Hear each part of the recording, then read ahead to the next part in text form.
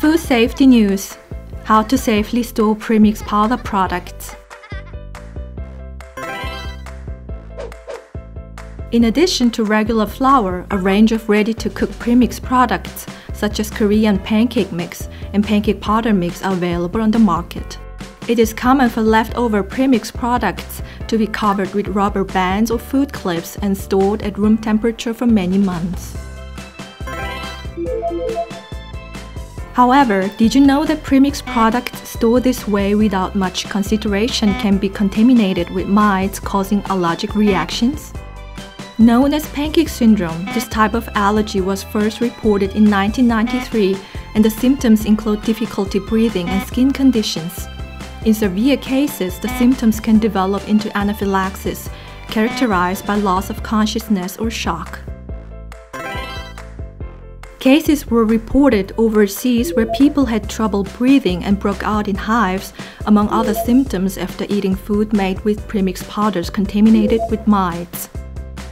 Anaphylaxis is reported largely in hot and humid tropical and subtropical regions. However, special cautions are necessary during the summer since it can occur anywhere in the world under high temperatures and humidity. Premix products contain a large amount of starch, amino acids, and other nutrients, an ideal breeding ground where mites can proliferate quickly once they find their way into the food. Mites are an allergen that can withstand heat, so even if you eat the contaminated products after heating them, you can still develop allergic reactions. This is why it is all the more important to store premix foods properly. Once opened, consume immediately. If immediate consumption is not possible, place the remaining product in an airtight container and store in the refrigerator.